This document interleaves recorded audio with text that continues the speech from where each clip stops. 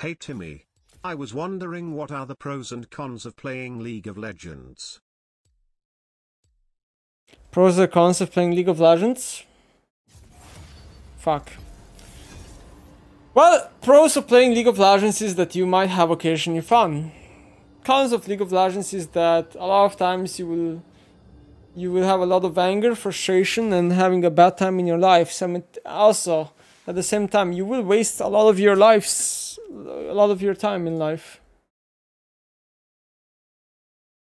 Um, you might develop illnesses. You might develop bad habits.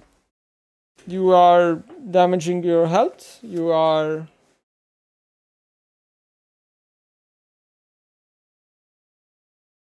Yeah.